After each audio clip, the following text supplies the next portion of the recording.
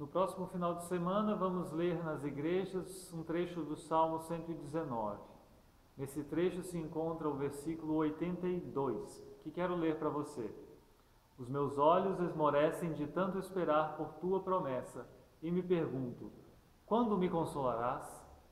Ao ler isso, me lembrei de um comentário do Bono Vox, o vocalista da banda irlandesa U2, sobre os Salmos. Segundo ele, algo que chama muito sua atenção nesse conjunto de poemas é justamente a sinceridade e a honestidade brutal do salmista.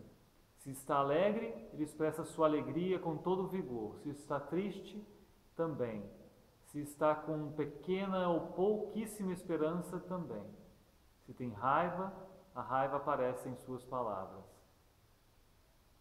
Isso me lembra de comentar que nós não precisamos nos apresentar diante de Deus como robôs, como máquinas de adoração, mas como gente que somos, gente que sofre e gente que também sorri.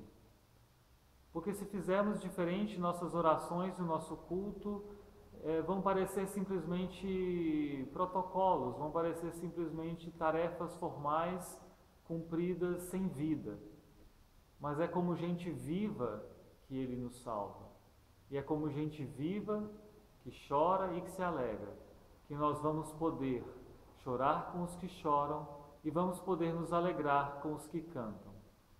Um abraço e Deus te abençoe pelo caminho da vida. Amém.